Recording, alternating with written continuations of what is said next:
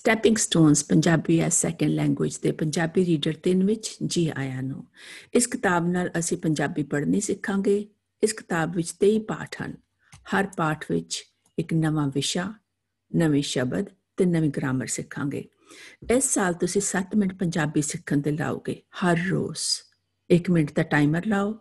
ਇਸ ਕਿਤਾਬ ਵਿੱਚ ਪੰਜਾਬੀ ਦੇ ਸ਼ਬਦ ਪੜੋ 1 ਮਿੰਟ ਬਾਅਦ ਸ਼ਬਦ ਗਿਣ ਕੇ ਇੱਕ ਰੀਡਿੰਗ ਲੌਗ ਵਿੱਚ ਲਿਖੋ।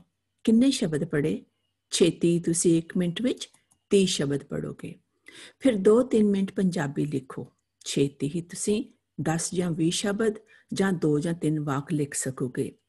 ਫਿਰ ਇੱਕ ਲਾਈਨ ਜਪਜੀ ਸਾਹਿਬ ਦੀ ਯਾਦ ਕਰੋ। ਇਹ ਸਾਰੀਆਂ ਗੱਲਾਂ ਤੁਸੀਂ 7 ਮਿੰਟ ਵਿੱਚ ਕਰ ਸਕਦੇ ਹੋ ਤੇ 7 ਮਿੰਟ ਰੋਜ਼ ਪੰਜਾਬੀ ਪੜ੍ਹ ਕੇ ਬਹੁਤ ਵਧੀਆ ਰੀਡਰ ਬਣ ਸਕਦੇ ਹੋ। ਚਲੋ ਫਿਰ ਚਲਿਏ ਤੇ ਪੰਜਾਬੀ ਰੀਡਰ ਦੇ ਤਿੰਨ ਵਿੱਚ ਅੱਜ ਦਾ ਪਾਠ ਪੜ੍ਹੀਏ। ਸਭ ਤੋਂ ਪਹਿਲਾ ਪਾਠ ਅਸੀਂ ਗ੍ਰੀਟਿੰਗ ਕਰਨੀ ਹੈ ਕਿਸੇ ਵੱਡੇ ਨੂੰ ਜਾਂ ਟੀਚਰ ਨੂੰ।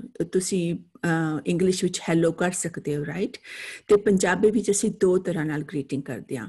ਇੱਕ ਅਸੀਂ ਕਹਿੰਦੇ ਆ ਸਤਿ ਸ੍ਰੀ ਅਕਾਲ ਤੇ ਦੂਸਰਾ ਅਸੀਂ ਕਹਿੰਦੇ ਆ ਵਾਹਿਗੁਰੂ ਜੀ ਕਾ ਖਾਲਸਾ, ਵਾਹਿਗੁਰੂ ਜੀ ਕੀ ਫਤਿਹ। ਅੱਜ ਅਸੀਂ ਵਾਹਿਗੁਰੂ ਜੀ ਕਾ ਖਾਲਸਾ, ਵਾਹਿਗੁਰੂ ਜੀ ਕੀ ਫਤਿਹ ਪ੍ਰੈਕਟਿਸ ਕਰਾਂਗੇ, ਠੀਕ ਹੈ? ਮੈਂ ਕਹਾਂਗੀ ਵਾਹਿਗੁਰੂ ਜੀ ਕਾ ਖਾਲਸਾ, ਵਾਹਿਗੁਰੂ ਜੀ ਕੀ ਫਤਿਹ। ਤੁਸੀਂ ਵੀ ਸੇਮ ਕਹੋਗੇ। ਤੁਹਾਨੂੰ ਦੇਖ ਕੇ ਖੁਸ਼ੀ ਹੋਈ।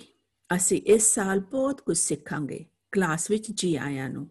ਤੁਸੀਂ ਬੋਲੋਗੇ, ਬਹੁਤ ਬਹੁਤ ਧੰਨਵਾਦ ਜੀ। ਇਹ ਫਿਰ ਮੇਰੀ ਇੰਟਰੋਡਕਸ਼ਨ ਮੇਰਾ ਨਾਮ ਪੁਸ਼ਪਿੰਦਰ ਕੌਰ ਹੈ। ਮੈਂ 10 ਸਾਲ ਦੀ ਹਾਂ।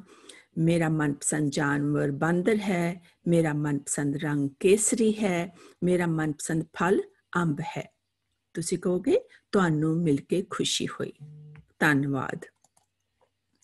ਹੁਣ ਅਗਲੇ ਪੰਨੇ ਤੇ ਤੁਸੀਂ ਆਪਣੀ ਗ੍ਰੀਟਿੰਗ ਕਰੋਗੇ, ਕਿਸੇ ਨਾਲ ਹੈਲੋ ਕਰੋਗੇ, ਕਿਸੇ ਫਰੈਂਡ ਦੇ ਨਾਲ ਬੋਲੋਗੇ, ਤੁਸੀਂ ਦੋ ਤਿੰਨ ਤਰ੍ਹਾਂ ਬੋਲ ਸਕਦੇ ਹੋ। ਹੈਲੋ ਜੀ ਕਹਿ ਸਕਦੇ ਹੋ, ਸਤਿ ਸ੍ਰੀ ਅਕਾਲ ਜੀ ਕਹਿ ਸਕਦੇ ਹੋ ਤੇ ਵਾਹਿਗੁਰੂ ਜੀ ਕਾ ਖਾਲਸਾ, ਵਾਹਿਗੁਰੂ ਜੀ ਕੀ ਫਤਿਹ ਵੀ ਕਹਿ ਸਕਦੇ ਹੋ, ਠੀਕ ਹੈ? ਫਿਰ ਕੀ ਹਾਲ ਚਾਲ ਹੈ? ਬਸ ਠੀਕ ਹੈ। ਤੇਰਾ ਕੀ ਹਾਲ ਹੈ? ਜਾਂ ਤੁਸੀਂ ਕਹਿ ਸਕਦੇ ਹੋ, ਤੁਹਾਡਾ ਕੀ ਹਾਲ ਹੈ? ਮੈਂ ਵੀ ਠੀਕ। ਤੁਸ, ਤੁਹਾਡਾ ਨਾਂ ਕੀ ਹੈ? ਮੇਰਾ ਨਾਂ। ਤੁਸੀਂ ਆਪਣਾ ਨਾਂ ਦੱਸੋਗੇ?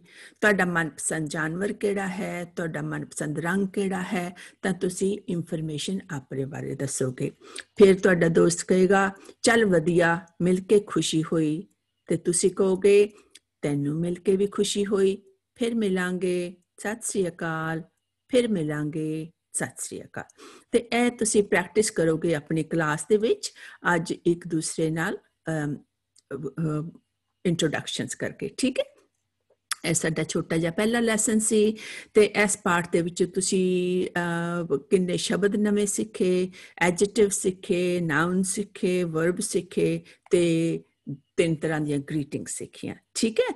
ਤੇ ਚਲੋ ਫਿਰ ਆਪਾਂ ਅਗਲੀ ਵਾਰੀ ਫੇਰ ਮਿਲਦੇ ਆ ਤੇ ਹਰ ਰੋਜ਼ ਤੁਸੀਂ 7 ਮਿੰਟ ਪੰਜਾਬੀ ਜ਼ਰੂਰ ਪੜ੍ਹਨਾ ਤੇ ਜ਼ਰੂਰ ਲਿਖਣਾ ਤੇ ਇਸ ਨਾਲ ਤੁਸੀਂ ਵਧੀਆ ਪੰਜਾਬੀ ਰੀਡਰ ਬਣ ਜਾਓਗੇ ਓਕੇ ਵਾਹਿਗੁਰੂ ਜੀ ਕਾ ਖਾਲਸਾ, ਵਾਹਿਗੁਰੂ ਜੀ ਕੀ ਫਤਿਹ।